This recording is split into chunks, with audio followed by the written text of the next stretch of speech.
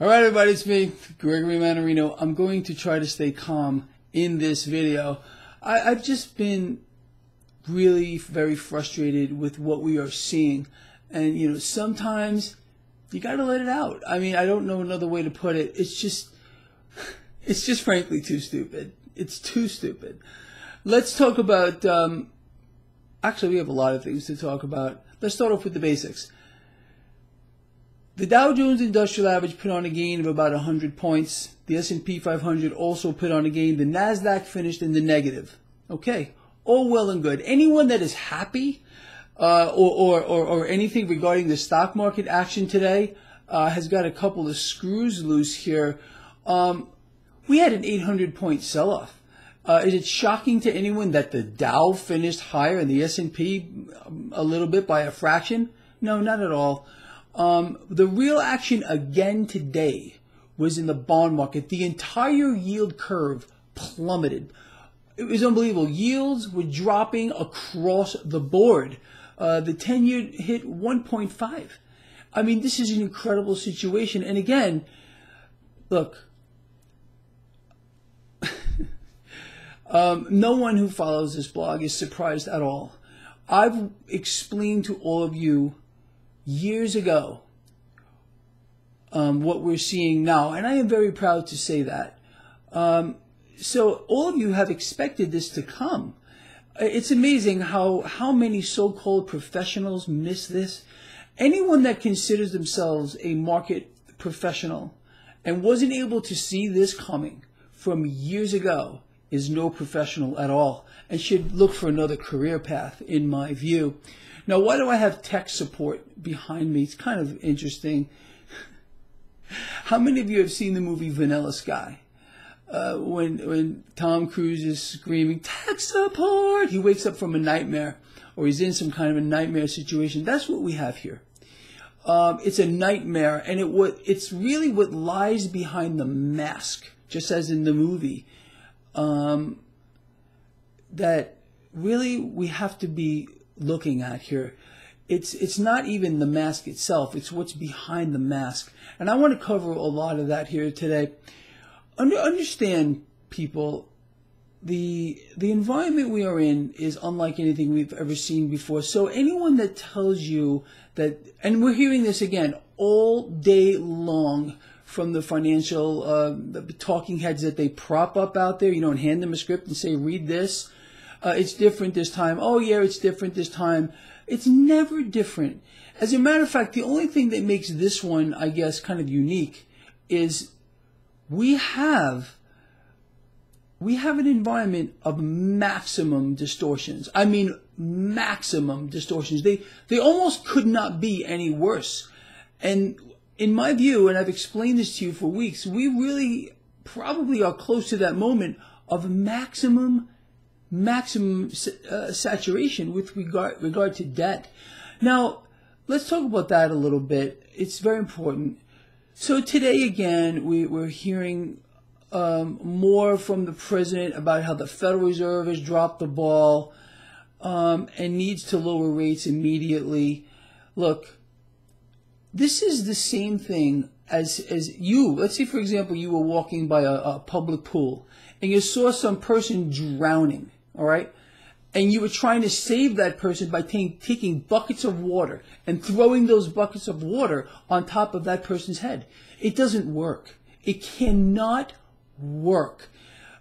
Adding more debt to a full blown debt crisis is, well, let me ask you, do you think that's good policy right now? Do you believe that that's the way to fix this situation? Let me show you what's being set up right now. We already understand, unless you live under a rock, that the president is following Peter Navarro's playbook. Peter Navarro, the economist, um, I guess the president has some kind of affinity towards this guy and thinks he's really smart because when Navarro says something, it gets parroted by the president and he's being misled by this guy. And I think it's it's very possible that the president is afraid right now of the situation. And again, I'd like to think he's not really that stupid, and he ha- has a little bit of under. Look, he's a businessman. He's a real estate guy. He is not a market guy. Okay, he is not a market guy. I don't even think he really understands central banking either. Uh, the fact that by allowing a central bank to issue more debt makes them stronger. The Federal Reserve today is stronger than it's ever been in history. And every day that it's allowed to or called upon uh, right now, like again, from the president and Peter Navarro to issue more debt, they get even stronger. It's an incredible concept that most people have no idea about, but this is how it works. This is their plan. It's a multi-decade plan. Uh, multi- multiple decade plan, probably longer than most of you are alive, longer than I'm alive. That's how long this has been in play. But what we're witnessing here, people, and I want you to understand this very clearly, it's economic policy failure by default. Understand.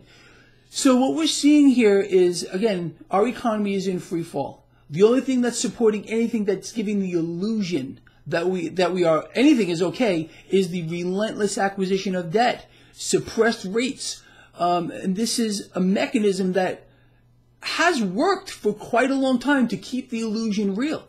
But that's all this is. It's what what lies behind the mask, like I'm explaining to you. This is like a mask, like from the movie Vanilla Sky. It's what lies behind the mask that we really need to be looking out for. And what lies behind that mask is something absolutely hideous that is being fueled by world leaders who have not the slightest clue of what to do because they are stuck in a very bad spot. I understand that. And a part of me feels a little bad for the president, but he allowed this to manifest itself. Um, I don't know what happens to a president once they move from candidate to president. Something happens there. And again, like I explained to you this morning, when they're sat down behind that, the resolute desk, okay, I really believe this, and maybe it sounds like a conspiracy, but I think they're sat down and they're told the way it works.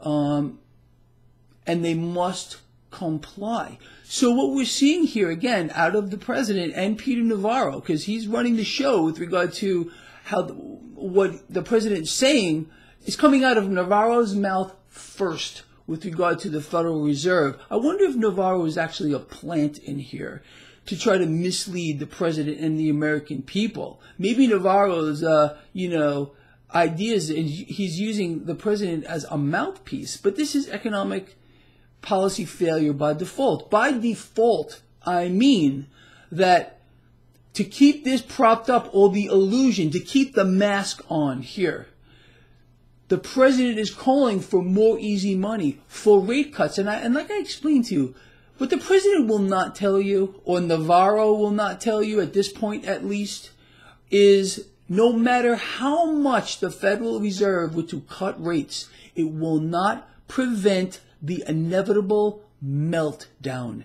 Again, I explained to you, it's so simple to understand. I mean, you got to be a sub-moron not to get it. Federal funds rate, 30 year. The 30 year is yielding less than the federal funds rate, okay? This is why the whole um, um, curve is inverted. Okay, so then what happens here? We get a rate cut, boom. Longer end of the curve will continue to drop. We get another rate cut, boom. Longer end of the curve will continue to drop. It's a cycle. It's an incredible, vicious, terrible feedback loop that we're stuck in. And I really hope that the president wakes the freak up and snaps out of it and says, hold on a minute. No, no, no. The right thing to do is to have the Fed raise rates. That is the right thing to do. Every world leader is playing the same game. You think this is by coincidence? It's insane. But I don't know. That, that that's that's really what's happening here. People, you should understand this. And, and I want to, you know what? I want to give a little credit to the president, a little bit, while credit to do because he let he let something out today. Um, and I, I, I, caught it, and I hope you did too. Again, I, I give credit where credit's due, and I do this all the time. Today, the president said this. Soon, okay, that's the word he used. Soon, the United States will be winning the trade war with China. Okay, his narrative thus far has been we have been winning thus far, right up till today. But today, the truth came out. He believes, and look, this is his belief. Maybe he's wrong, maybe he's right. But let's give the man a little bit of credit, all right? A little bit. He did admit that we're not winning. He said soon we will be winning.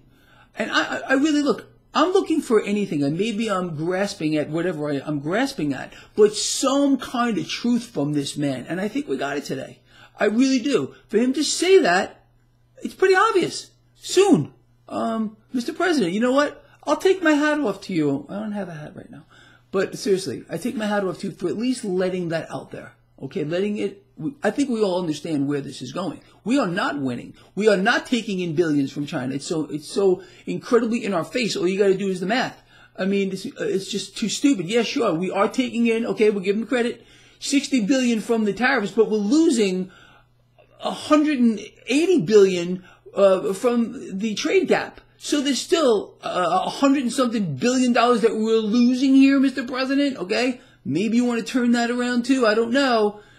Um, lastly, before I let you go, I want you to think about this. There's always a fall guy here, and I think Peter Navarro is being set up as a fall guy. No secret, the president is parroting Peter Navarro with regard to what the Federal Reserve should do, cut rates, cut rates, blah, blah, blah. And then the president is parroting it, oh, oh, oh, whatever. However, whatever a parrot sounds like, I don't know. Um, but if you're following the mainstream financial channels, again, they always throw little, little things out there to give you a clue. They're already predicting, are you ready for this? A Navarro recession. It's being called the Navarro recession. Okay? To me, that sounds like Navarro is being set up as a fall guy here. Meanwhile, the president has the bully pulpit and he's just parroting this guy. So you can see, I, believe me, this kind of thing doesn't get floated out there by accident. This is the White House. This is the White House floating it out there. And Peter Navarro, you notice how he's been on TV a lot lately? He's getting a, a lot of coverage just because he's being set up as the fall guy. So simple. This is just basic strategy. Uh, I studied military strategy for a long time. It fascinated me for the longest time. Uh, this whole market thing, this is all strategy, uh, how to beat it. Um, anyway, with that said, I want you to think about all of these things I just covered in this video. I think they're very important concepts. If you would agree, if you're on my team, I'm counting on you to get this video out as far as and wide as you can. Again, this is not my thing. This is our thing. So uh, let's make it happen. Share it. I will come back and read the comments, ponder these things I've spoken about. And I want to hear from you. I really do. And I promise, I do read these comments. And I do write back to some of you when I can. I'm a busy guy. You all know that. I love you seriously from the heart. And um, I'll see you tomorrow morning.